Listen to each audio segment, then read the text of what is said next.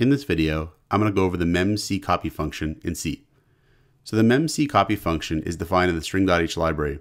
So the first thing we'll do is include that library. Now the way the memccpy function works is it's going to copy characters from a source to a destination, either until some number of characters has been copied, or until a particular character has been encountered in the source string. So let's go over an example. Here I'll say char source is equal to and I'll say John Smith at Microsoft.com. And then I'll make a destination character array. I'll say char destination 20.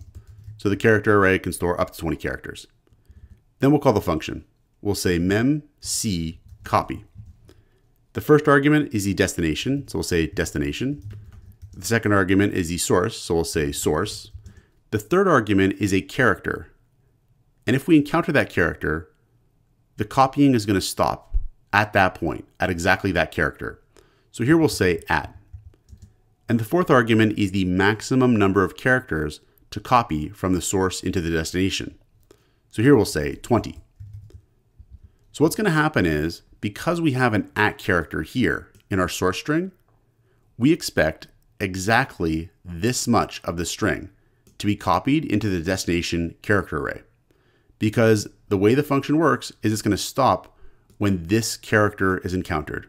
And that's where copying is going to finish, is at that point, up until that character. So let's try it out.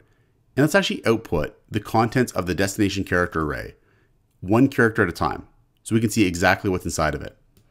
So here I'll say for int i is equal to 0, i is less than 20, i plus plus, and we'll say printf destination percent %d is equal to percent %c, we'll output the index i and the value of destination at index i. So if we save this here and run it, we should be able to see the contents of destination after running the function. And we see that we get John Smith up until and including the at symbol copied into the destination character array. After that though, we don't really get a null terminator. So that's one thing with this memccpy function is that the character after this character here is not a null terminator. memccpy doesn't do that for us. So if we were to try to print out the destination character array as a string, we'll get some garbage here.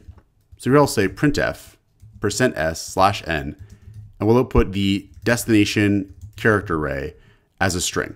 And I'll say destination here as well. So if I save this here and run it, we get this as output.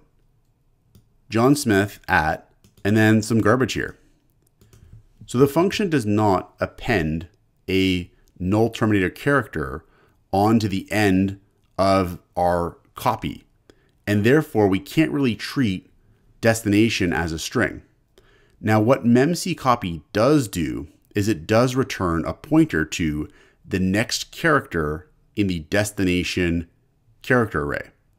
So what I could say is this, char star position is equal to the return value of memccpy with these arguments here. And what this is going to be set to is a pointer to the next character in the destination character array after this copy has occurred. So what we could do is set the character at that position to a null terminator.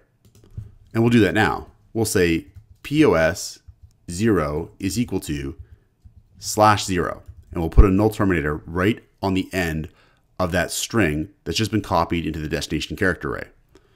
So if we save this here and we run this, we now get that the destination character array prints out cleanly as a string. We just get john.smith at. And you see here, there's nothing printed out.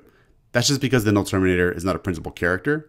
But that's what's there now is a null terminator, actually ending the string. So let's try something else now.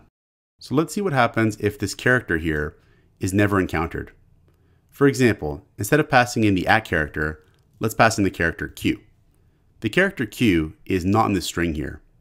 So what's going to happen instead is that 20 characters from the source are going to be copied into destination. Let's actually see what happens here. And we'll just comment at this, and we'll comment at this now. And we can save this and we'll run it. And you see that we get john.smith at Microsoft, and that's where it stops because that's exactly 20 characters now that have been copied from the source to the destination. Now, what's going to happen with POS here? What's going to happen is, is that POS is going to be null. So if memccpy does copy this number of characters from the source to the destination, it's going to return null. And we'll find that POS will be null. We could print it out just to see. We'll say here printf POS percent %d slash n, and we'll output POS. And if we save this here and run it, we get that POS is zero, which is null. So that's how we can use the memccpy function in C to copy characters from a source to a destination up until either some number of characters has been copied or until some particular character has been encountered in the source string. Check out portfoliocourses.com, where we'll help you build a portfolio that will impress employers, including courses to help you develop C programming projects.